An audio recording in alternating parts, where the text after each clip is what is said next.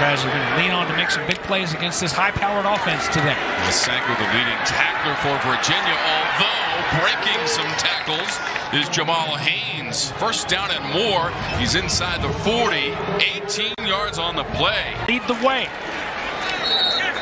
Georgia Tech quickly once again with a five-yard play. Haynes gets the call on successive plays. As long was a 47, and just as we go to break, missed a 48-yarder there, just a little bit short. Georgia Tech football with Haynes to start the second quarter. Two national titles, back at Georgia Southern, and well, just the way Paul Johnson would like it to get that first down.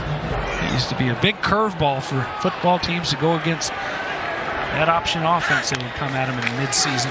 348 yards rushing a week ago against North Carolina. That's to the 20 for Dontae Smith and a first down. Plenty of time for Georgia Tech to drive. Virginia Tech, uh, Virginia can't let them do it. It's a first down down the sidelines for Haynes. Talking about North Carolina on the ground, but would go away from it. There's a big third down. And move those chains threw for over 250 yards and engineered the fourth quarter comeback 27-16 to win at 28-27. Breaking away Haynes, and he's going to go the distance.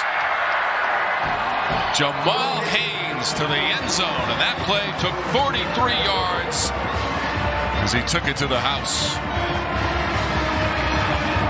With all that space, here's one more look at it, and a good job this entire game by that offensive line up front. And then the skills guys doing the rest. The hustle from big Luke Benson.